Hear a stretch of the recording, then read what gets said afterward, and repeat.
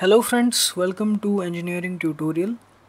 So we'll continue our discussion with uh, the subject of physics of semiconductor devices and uh, this discussion will also be related to the energy band theory.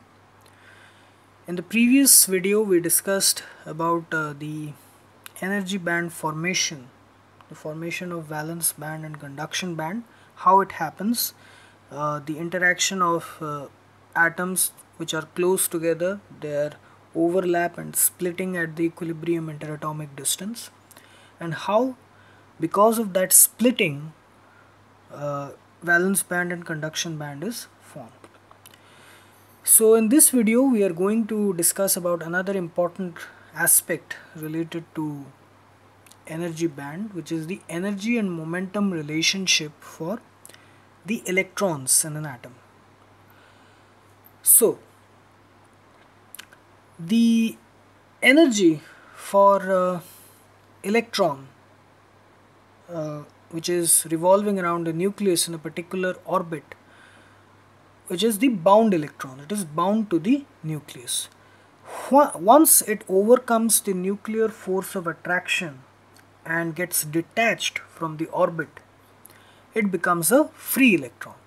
So for that free electron, the energy is given by p square 2m0 which is equal to h square k square by 2m0.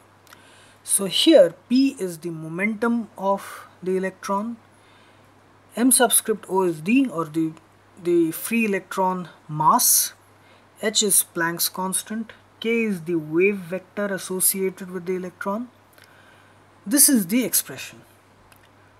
Okay?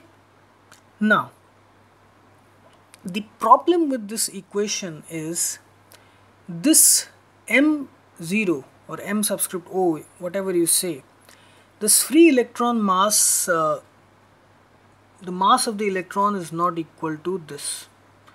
Why? Because once in uh, the electron it overcomes the nuclear force of attraction gets detached, it is not the only electron which is free. Okay, it is not isolated.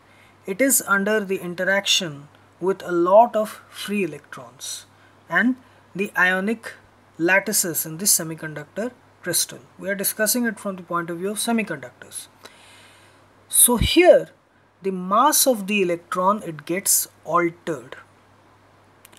Okay so here the concept of electron effective mass or the effective mass of electron it comes into play.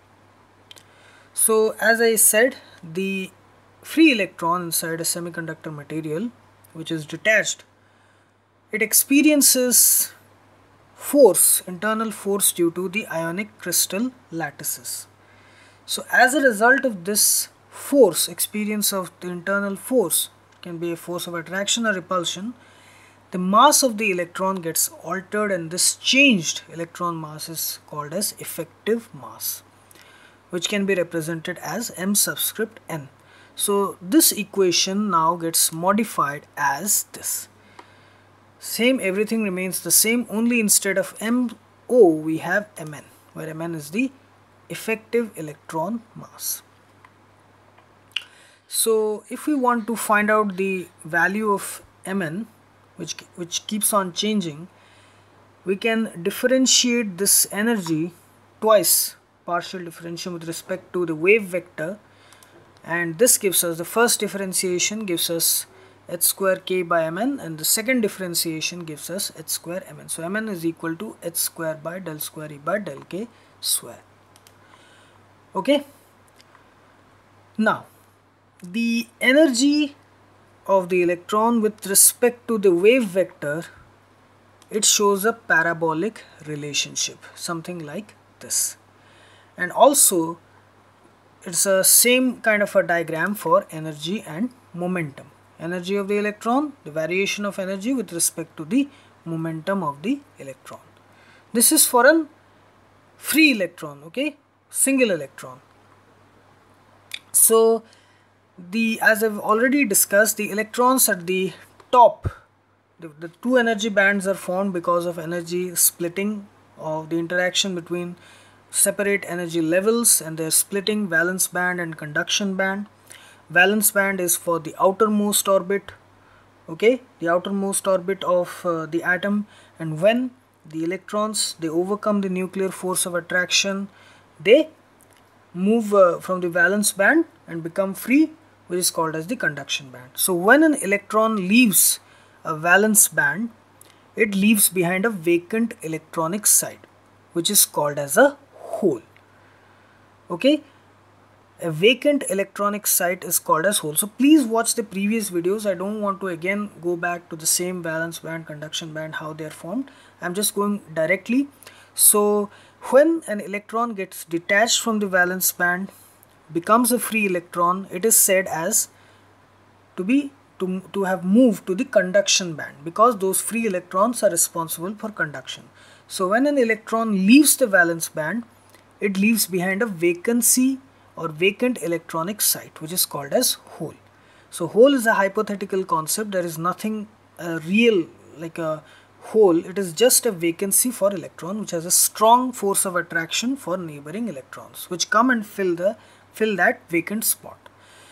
So the electrons which which have moved to the conduction band they are assumed to have a positive effective mass and uh, the vacant electronic sites the vacancy of electrons the holes they have a negative effective mass in the valence band so the actual diagram it looks something like this taking both electrons and holes into play okay same parabolic relationship but we can say they are mirror images opposite with respect to each other. This is for the conduction band the free electrons and this is for the vacant electronic sites the holes.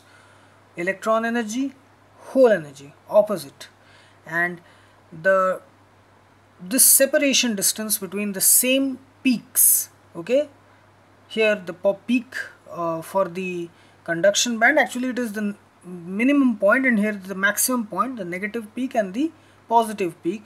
That is the energy gap or the forbidden energy gap. Okay?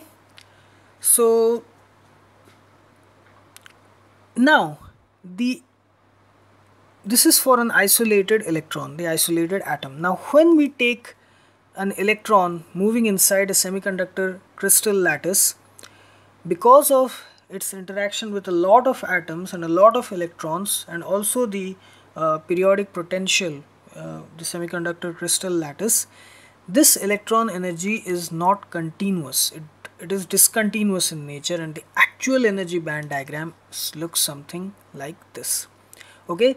So here this parabolic figure you can see at the bottom for the first energy band and then with a certain fixed forbidden energy gap a second energy band is formed within first the first is in within the range minus pi by a to pi by a then the second energy band with a little bit of forbidden energy gap it is from minus 2 pi by a to minus pi by a and again from pi by a to 2 pi by a. So the total range is from minus 2 pi by a to 2 pi by a.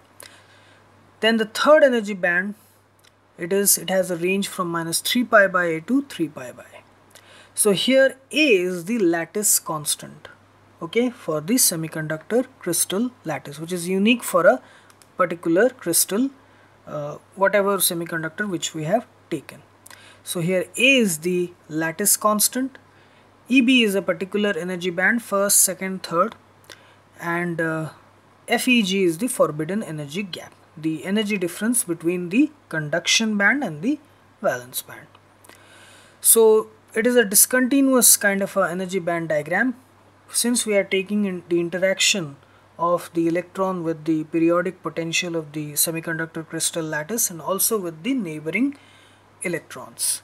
So the actual diagram looks something like this and this is the uh, from an explanatory point of view to make you understand how the conduction band and valence band is formed and then the energy gap between the uh, two bands.